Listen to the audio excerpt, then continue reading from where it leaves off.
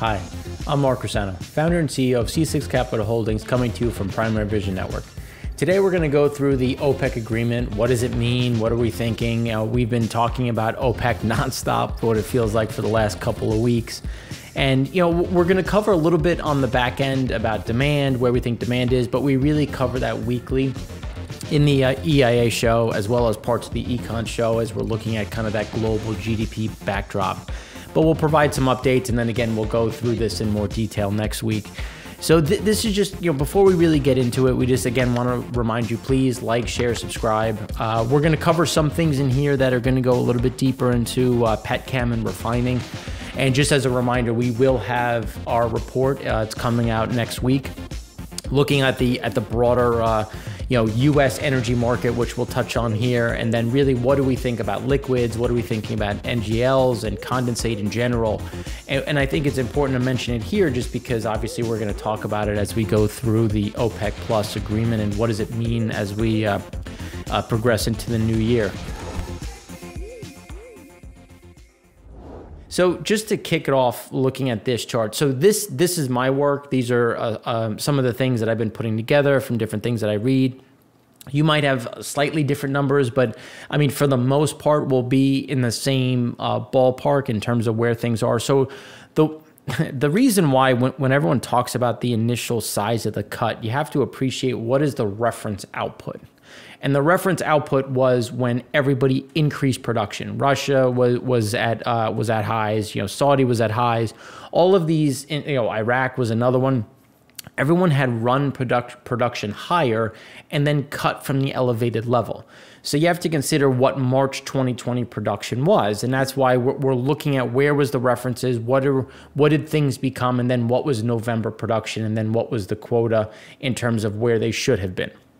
So that November production is really important because November production, if we look at just the the OPEC countries that were not excluded, so November production was at about 21.9 million barrels. The quota was at 21.8. So just to think about, you know, there was a little bit, you know, we keep talking about cheating, we keep talking about what the cheating looks like. And now the new January cuts is the is including the adjustments. So what did they agree to? They agreed to increase production 500,000 barrels in January. So the expectation was for either something base and or a decline, but they actually increased production by 500,000. Now they were supposed to increase it by 200. Uh, by I'm sorry, by 2 million. So now we're instead of 2 million, we get 500 with the idea that they're going to meet every month to reassess the way things look. You know, how, where's demand, where's supply, where's storage. But so far, the idea is going to be 500,000 in January, 500,000 in February, 500,000 in March, 500,000 in April. So the 2 million gets spanned over a longer period of time. And how is that broken up? So just to give you an idea, put this into context. So Saudi Arabia and Russia, the two largest members, obviously, are allowed to pump 126,000 barrels a day more based on commentary and documents that you know we've been seeing. S&P uh, Global Platts agreed with us. And then both Saudi and Russia will now have quotas. If you look now at the January production target, of 9.119 million barrels a day. Now, you can look at, at Russian data. Russia has production over 10 million, but you have to back out condensate because condensate, again, coming back to the liquid side, condensate is not included in the OPEC agreement, which is why Nigeria has been trying to get them to slate about 120, 126,000 barrels as condensate. But again, so now when uh, when we go back, so then that's the largest. Iraq will be capped at 3.857 million, while the UAE will be at 2.626 million. Now, just to give that backdrop, what does this mean? So non-OPEC can increase 178,000 barrels a day, with most of it going to Russia, and OPEC Plus can increase 482,000 barrels a day. Now, all of this, this doesn't include Libya. So Libya's has already increased production from, if you look at March, they were producing 100,000 barrels a day. And in November, they produced 1.05, well, 1.50 million.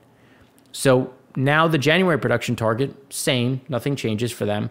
Venezuela has obviously died because they've gone from uh, 700,000 to 400, so they've lost some there. And Iran has gone from about 1.98 to 1.91. So nothing crazy in terms of the adjustments. So what does it mean as we as we look forward? All this is doing is legitimizing cheating. And the reason why we say that is because if we look at November production for Russia, it was 9.122. Their quota was 8.99. And now their January production target is 9.119. So clearly they they're just going to they can continue doing what they're doing. If we look at Iraq, Iraq was if you look at November production at 3.86, their January production is 3.857. Again, 3.86 was over their quota. They've been cheating. And now the January production target is essentially right where they've been producing at. So we then we look at Nigeria, another country that has been cheating. So we look at Nigeria, 1.54. January production target, 1.516. Again, uh, they're getting to this point of where things sit, how things are being accomplished, and they're just legitimizing their cheating that we've been seeing since May. And that's why we, when we look at January, the market could say, look, we've already seen this. We've seen this show. We've, we've absorbed uh, Libya. We've absorbed the cheating. So really, there is no increase in January because everything's going to be held constant. But then when we go into uh, February, that, that the question is going to be, will we see an increase? Because they're going to meet every time to come up with some sort of solution. Now, when we go to the non-OPEC output estimates, now this is from S&P Global Platts. You know, there's not really nothing to say in terms of you know where they are because the, the, the numbers have been pretty good from this part, and you can see the Jan cuts and then the the January adjustments. So total OPEC plus at 34.9 again, this this is we've we've been in this in this uh, party for a long time, and the problem that we see going forward well, the, well, let's start with the benefit. So, what did Saudi Arabia and Russia accomplish? They were able to hash out an agreement uh, across 23 countries. So this was obviously a, a, a big, um, you know, agreement, and they were able to to get people to come to to some sort of terms. The problem is one, the UAE has been saying, look, you you yelled at me for cheating, and we'll show the numbers overall, and now you're just you're you're not going to force anyone to cut back, even though the UAE did make up for their for their over allotment, their overproduction, and others haven't, and now you're just legitimizing.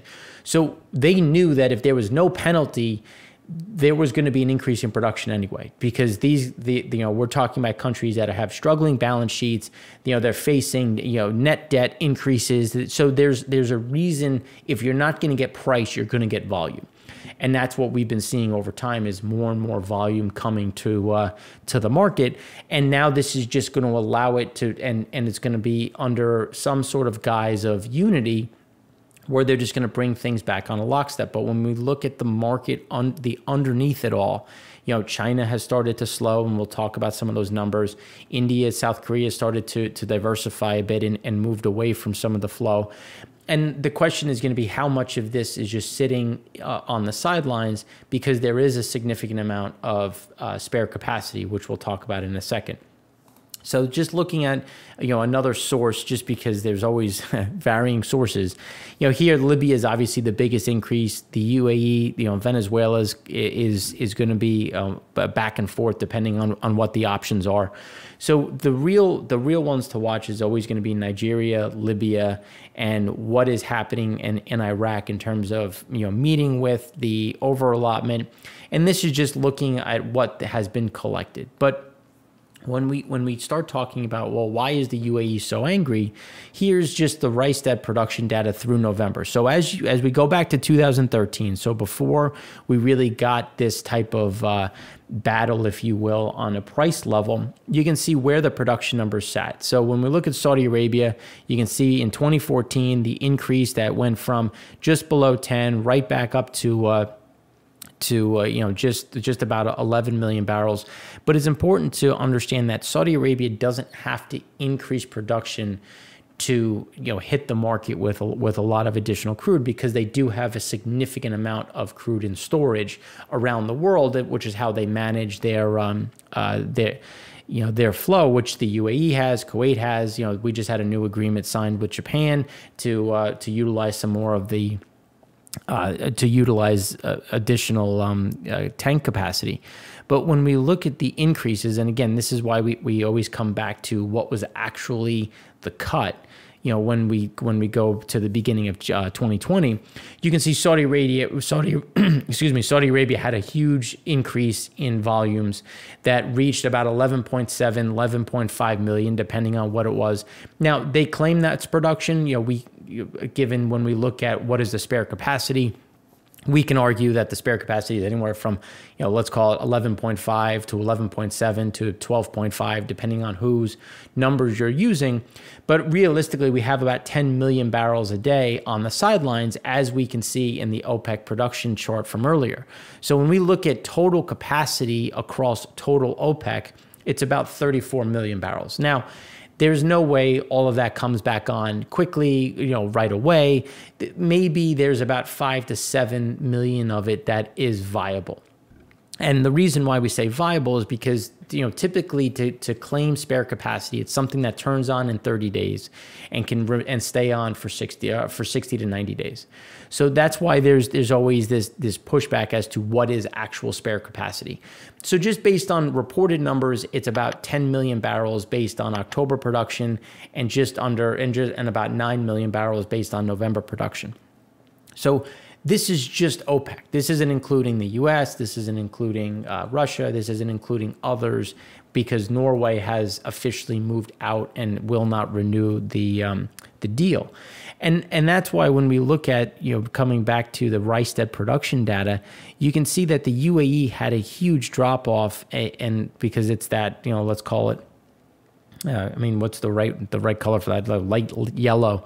That you can see that they had a precipitous drop where the Kuwait didn't really get the same type of drop. You know, obviously Saudi picked up a big chunk of it, but the UAE on on a percentage level was required to make a bigger cut, which is why they they had such anger towards you know why can't they re, they produce more? And here you can see we're slowly grinding higher, even though the we didn't get an adjustment in the cut allowance, you still have Iraq going higher, you have Nigeria moving up, which is why there was this concern about well, what is what are things going to look like on in the first quarter of 2021. So this is just using some of the estimates, you know, from Bloomberg, OPEC data. So if they were if they were to increase 2 million barrels in January, the idea is that we would have seen a net increase of about 200,000 barrels a day a one Q rollover, which just means that there's there's nothing. You know, they they keep the cuts the way they are. There was going to be a draw of 1.7, a taper from February 1.2, taper from January about a draw of 700,000 barrels. Again, 700,000 barrels can be made up in a lot of different ways, which is why we're getting very close to a swing of well, where are the vaccines? Pfizer just cut their uh, expectations for vaccines in half for for uh, the rest of 2020 you know, does that mean that we're going to get additional re reductions? We've seen lockdowns, we've seen spreads. You know, there's there's obviously issues with COVID in general and just you know the health of the global economy. So that's why there's they're going to look at the cuts every every month going forward because if we get a drop an additional drop in demand, that that draw of 700,000 barrels could quickly go away. Now the question is, are they actually going to roll back cuts? It's going to be very hard to see that just given how they sit in their uh, in just their health of the underlying uh, economy in, in general. So then when we look at exports, because there's obviously production and then there's exports. So let's look at what are the exports, and you can they, have been fairly stable coming out of uh, the you know the the um, the Persian Gulf, but it you know there was some weather which is is just a, a you know it's transitory. That's not a huge issue, but weather did impact a little bit. You know, the bigger component here is where is Saudi Arabia? You know, how is Saudi Arabia adjusted? And you can see that they've been able to maintain pretty stable exports from January looking back to January 17 and then obviously you had the the price war that kicked off and you had the big spike across all of them but the exports have been fairly stable, and it they've clearly turned away from the U.S. because now when we look at you know the exports in, aggregate, well, where are they going? How are they being directed? Why are we seeing draws in other places, builds in, in others? and they're really trying to move around where the crude is going and how they can adjust kind of those those different idea uh, you know the different backdrops of you know who's getting the crude how is it getting into the market and it, it's it's important to just appreciate you know how close we are to to an increase that could really tip the balance of this, uh, you know, the scale, and and we're seeing that in some of the, you know, the uh, the actual pricing uh, uh within the physical market, and then when we look at crude going, uh, you know, oil exports to to China, you can see that they've backed off a little bit. But when we talk about, you know, how things are moving within Asia as as we go through uh, floating storage so the flows to South Korea have gone lower in November, dropping by about 45,000 barrels a day and setting a new low in records going back to 2017. And small increases in shipments from Iraq, UAE.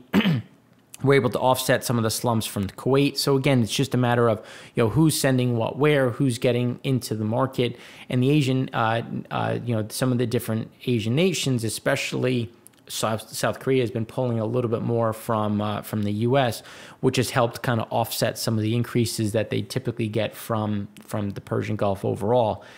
And when then when we look at okay, well, India's been edging lower through November, and we're going to see another decline in November, which we we've expected and talked about given some of the issues that we've seen in India. And the question is always going to be what is happening in China.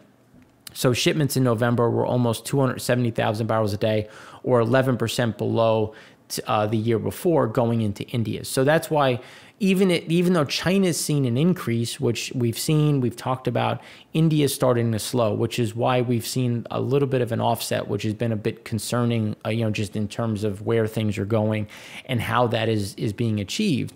And that's why when we when we look at crude and condensate going into Japan, Japan has seen a lot of growth. So you know, as we you know, October was was a tough month, but you know now November is starting to offset that with the UAE up about 416,000 barrels, uh, which is 84%, and are now close to 50,000 barrels above their 2019 average levels. So the UAE is increasing, but at the same time, like I said, when you talk about UAE into Japan, they've also come up with a deal in order to utilize some of that that um, that commercial storage. Kuwait has something similar. Saudi Arabia has something, and it's just a matter of moving more crude within the region. So it, it, it does it makes sense to see Japan increasing, but the U.S. has seen a a massive drop off. So when we look at the imports from the Persian Gulf into the US, you can see that there's been a huge drop off. And even though there's been such a huge decline in the US, again, coming back to our EIA show, looking at the builds that we've seen over time, going into, or at least not really drawing as much, because we we did have five hurricanes taking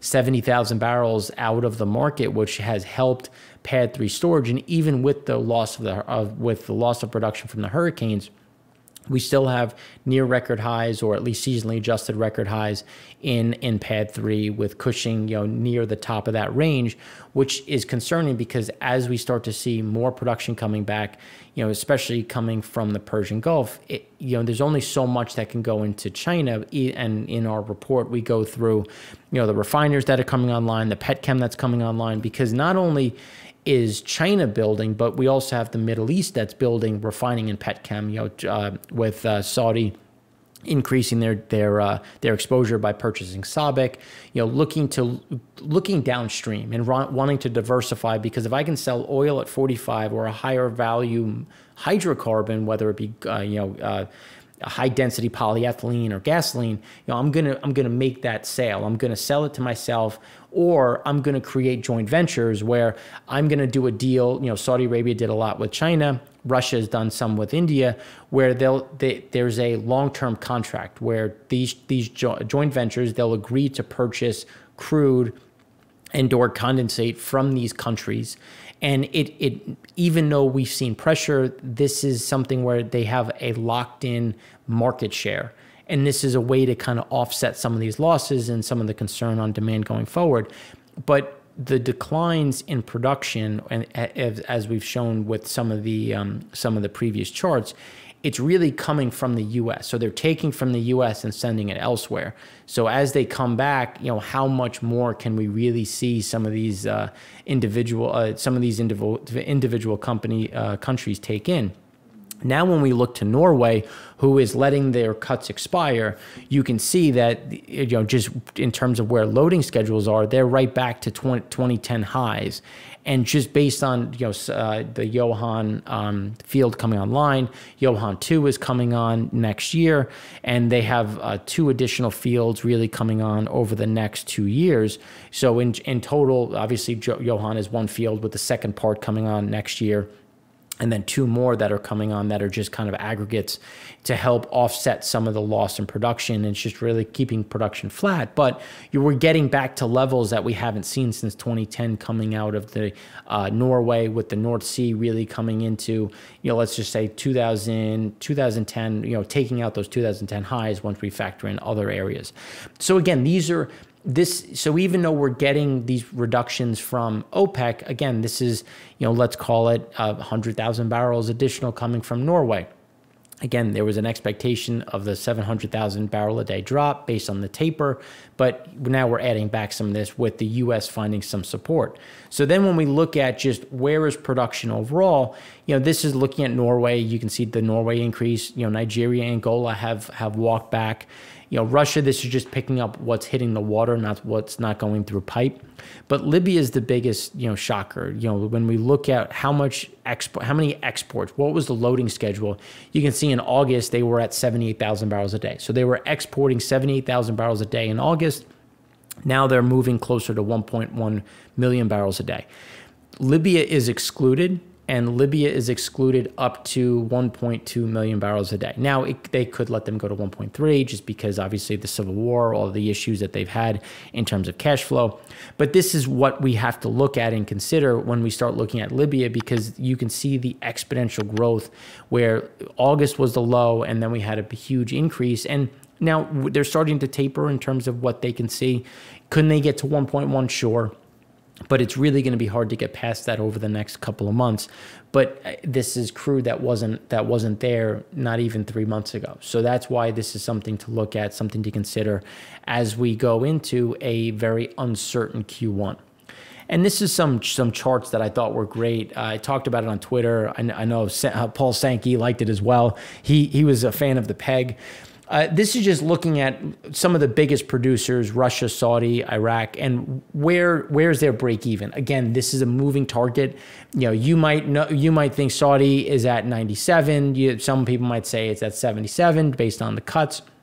This is just an average. So take it for what it is. It's just a way to to to talk about their fiscal break even. You know, Russia has said that they they they they plan everything for 45 Brent. Again, you know, it is what it is.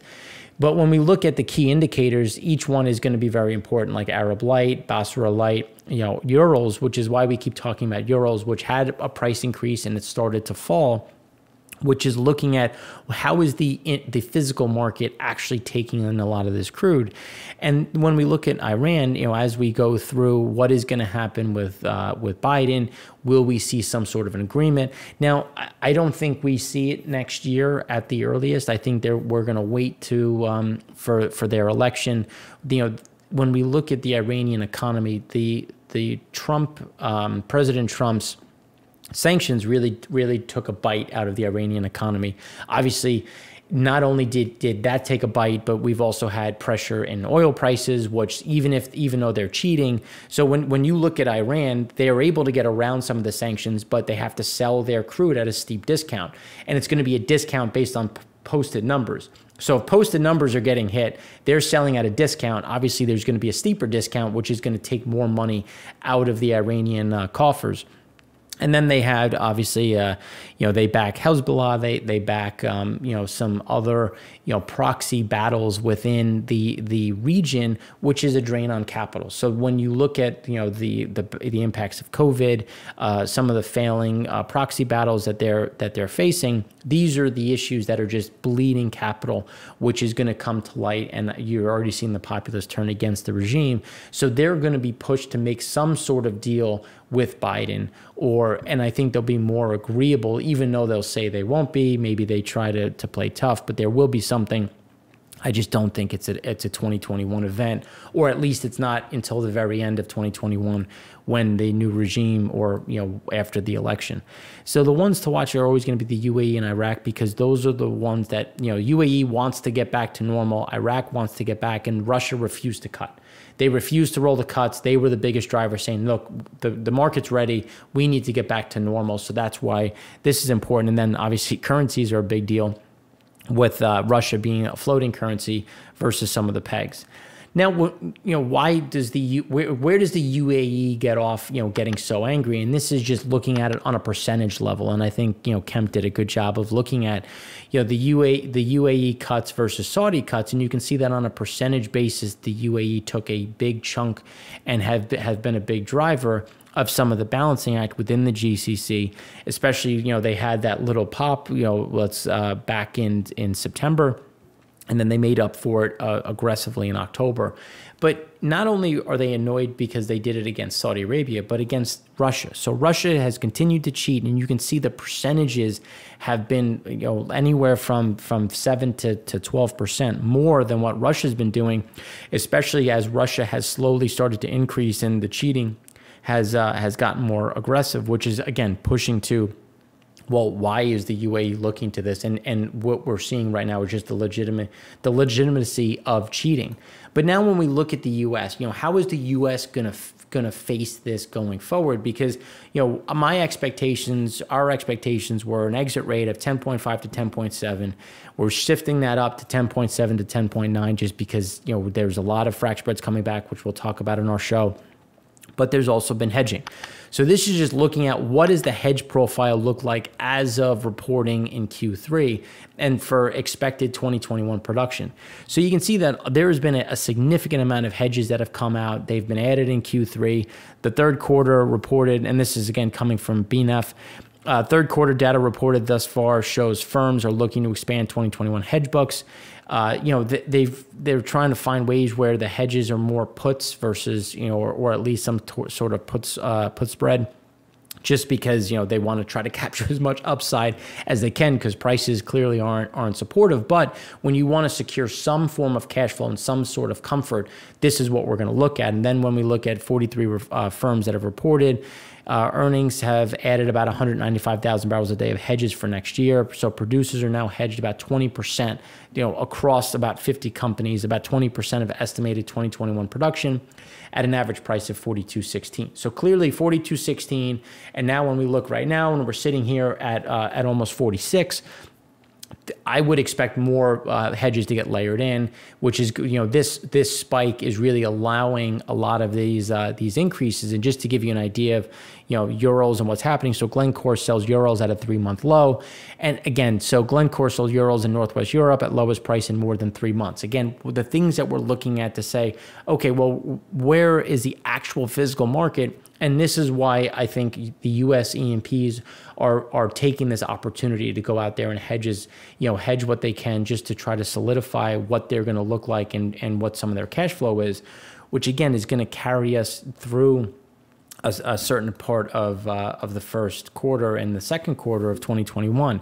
And then when we switch to to gas hedges, you can see that they're you know given how the curve is strengthened, it's normalized a bit. You know just based on when this was when this uh, picture was taken and where the curve is now as as gas has gone from three to 250.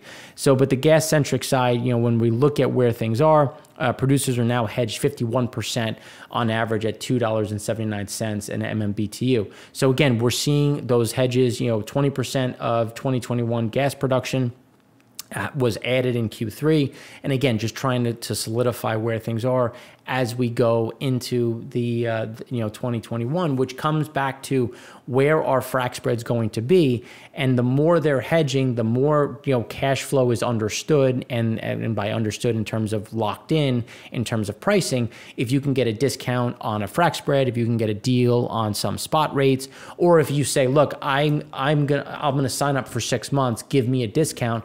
You you know what is that going to look like, and is that going to bring bring more production back? Which is why when we look at you know some of the demand functions, here's just looking at congestion across Europe you know, and just the, the world in general. So China is is back above normal. If you if we think about where things are, they're not back to September levels, you know, and they're starting to roll over again as we go into weather and all the other components. Europe in general has started to recover with Italy, Spain, and and uh, Italy and Spain, uh, Italy, Spain, France adjusting a little bit to their lockdowns. But North America, as things get worse, you're seeing North America really soften and just given the amount of driving done in North America versus Europe, the decline in North America more than offsets the decline in Europe, uh, the increase in Europe. So just to kind of average out where those gasoline numbers really shake out. But you know, what does it mean for the U.S.? When we look at oil company uh, growth capex, you can see that growth capex has gotten hit you know things are starting to get back to a little bit of normalcy in in 2020 but for the most part BP Shell. All of these things are going to remain lackluster and we really don't get even some semblance of growth until 2022 Again, this could change. If oil all of a sudden rallies another $10, then we could start to see some capex come back in. But right now, as the curve sits, this is why you know when we talk to people who are saying like look we're going to get this this big cycle we're not getting the investment you know our argument is like look there's being there's investment at the NOC level not so much the IOC level so that's going to offset some of this growth this growth shrinkage that is expected in the IOC as the NOCs make up. But some of the NOC um, investments that have that have already happened have been at the petchem level so they're also, you know, looking at and, and hitting more of the downstream, which is where some of these uh, companies are starting to adjust their uh, their portfolios. So then when we look at, you know, what is happening on the NOC level, you know, this is when we start factoring in, okay, well, the IOCs are the ones that are seeing the biggest drop, where the NOCs or the national oil companies are starting to see a little bit more of uh, comfort, as we've seen out of the, um, you know, the neutral zone in Iraq and especially being driven by uh, by Russian IOCs. And that's why when we look at okay, well, how are they doing it? What does the leverage look like? And this is just looking at Aramco, which has kind of joined the party, which is why I do like the uh, the title. And it's just looking at the amount of debt that they've issued in order to cover their investments, in order to cover their um, their dividend. And you can see that Rosneft is is obviously at, at the higher end, and BP is everyone has seen some sort of increase which is going to just weigh on future earnings. But at you know, if you get a recovery in prices, obviously some of this changes, but this just gives you an idea of why there's going to be pressure in some of those numbers. Now, when we look at the U.S., what is happening in the U.S., you know, the, the Alaskan crude continues to have a very strong bid to it. And this is because it is flowing mostly into China. China's been buying uh, the northern exposure, which is why when we talk about the U, uh, the EIA numbers and our and we were a little, um, you know, I should say very off in our expectations for uh, for crude exports. A lot of it is being driven based on the Alaskan North Slope, which has seen a very strong bid going into uh, China. Now, when we look at some of the data that that came out today, uh, the non-farm payroll employment, you know, you, this is what we've been talking about. This is why we, we remain concerned. We'll go through this again more in more detail on the economy show, but we're seeing this this strong the you know the the growth level off you know the expectation was for an addition of over 400,000 jobs we got 245 and it's just inherently slowing and starting to flatten out. As we talked about uh, this in our Wednesday show, looking at the hours worked, you know, companies not coming back. And now when we when we look to continued claims on regular states, the you know the the decrease that we've been seeing reflects the expiring of eligibility for claims to regular state programs, which is why they're converting into the pandemic side, which is going to be a big part of the omnibus that's being talked about between Pelosi, Schumer, and McConnell in order to come and bring some sort of, uh, of, of, of, safety to the, um, the need for stimulus as an omnibus, omnibus deal. So, what does that mean? That just means that we have a fiscal cliff on, on uh, December 11th, which the government needs more money. If they can't agree to it, the government shuts down. So, they're trying to link a fiscal cliff, a new a new spending budget to get us through the end of the year with more stimulus. So now there's an agreement that we're going to get about 900 billion in new stimulus. And this is why, because we still have over 13 million people sitting there with getting pandemic unemployment assistance, pandemic emergency assistance, and this is set to expire December 26th. They want to extend this to at least into January to give some leeway. And but at the same time, we're getting uh, you know the labor force participation going down. It's back down to 61.5 percent. Again, moving in the wrong direction. And this just looks at that that pivot that we keep talking about from regular benefits up into the solidified benefits, which is why even though we're getting some reductions in unemployment, it's really not because it's going down. It's just being converted into a different, uh, you know, bucket, which again comes down to what does demand look like? How is this going to look going forward? Which is why we remain concerned the overall, you know, refined product demand as well as oil demand, just given some of these backdrops. And again, the U.S. is is not unique in this. There's we can talk about this, and we have talked about this in Europe and Asia, and and it's just going to be these inherent issues in terms of what is oil demand and what is refined product demand. So, you know, thanks again for watching. I know we covered a lot. There's going to be, uh, you know, more to come as we go through our primary vision frac spread count. So we uh, hope you're having a great weekend. So thanks again for watching. I'm Mark Rossano, founder and CEO of C6 Capital Holdings, coming to you from Primary Vision Network.